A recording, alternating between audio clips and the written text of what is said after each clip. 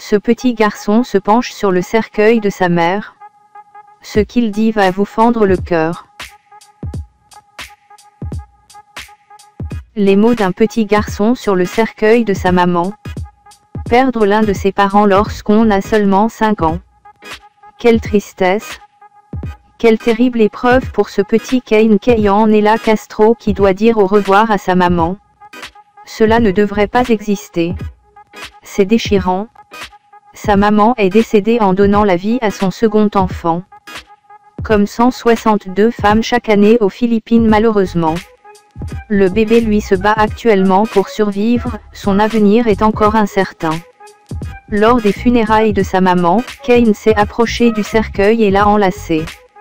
Puis il a dit quelque chose de déchirant, pourquoi je ne peux pas dormir à côté de maman? Ou une proche de Kane n'a pas pu retenir ses larmes quand elle a entendu l'enfant dire cela. Elle essayait d'être forte mais elle n'a pas pu se retenir. Elle a partagé cette photo de Kane et interroge, que faut-il expliquer à un enfant qui dit ça? Effectivement, quels sont les mots pour expliquer cela à un enfant? Ces mots existent-ils? On souhaite beaucoup de courage à Kane. On lui souhaite de devenir un formidable jeune homme comme l'aurait voulu sa maman. Courage petit bonhomme.